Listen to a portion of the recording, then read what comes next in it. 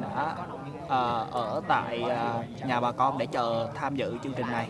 Sau khi xem những cái uh, hiện vật trong vòng về những cái uh, cuộc chiến đấu của sư đoàn 302 giữa uh, thì tôi có ấn tượng nhất là ở là giữa cuộc chiến đấu của sư của, của, của sư đoàn và đã ờ, giữa quân và dân cam.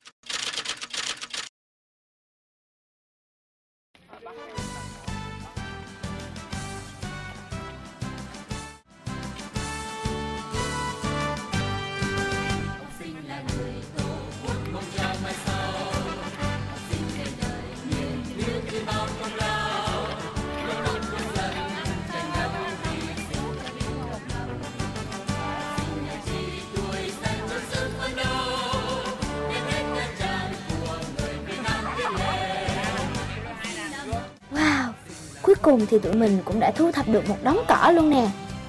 Vậy là công sức của tụi mình đã được đền bù xứng đáng bằng một đống cỏ thật to đấy các bạn ạ. Tụi mình thấy rất là vui.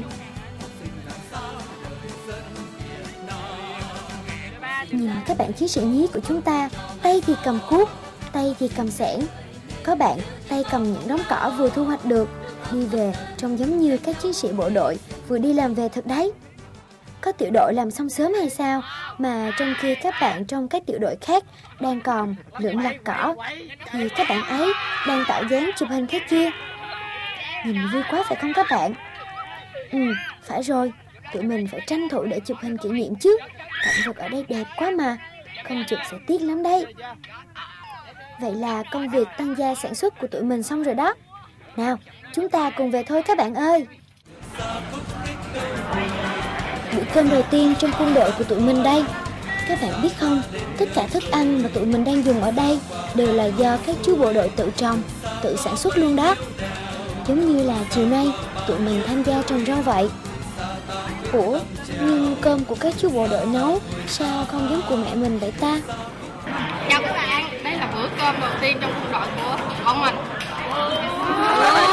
Chắc vì đây là ngày đầu tiên mình được ăn cơm của các chú nấu nên chưa quen với mùi vị này đấy mà.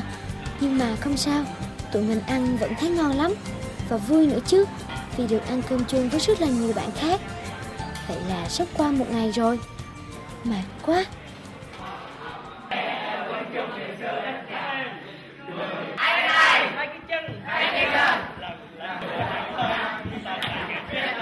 Quân ta, hai cái tay, hai cái chân, một cái mông.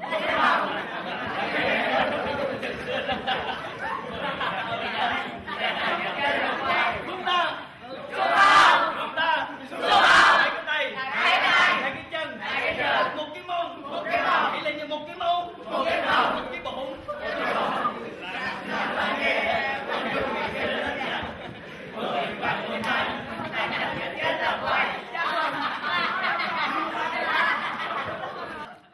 Vậy là Miu đã giải đáp được thắc mắc của mình rồi phải không? Ừ, nhưng mà tiếc quá vì thời lượng của chương trình cũng đã hết rồi.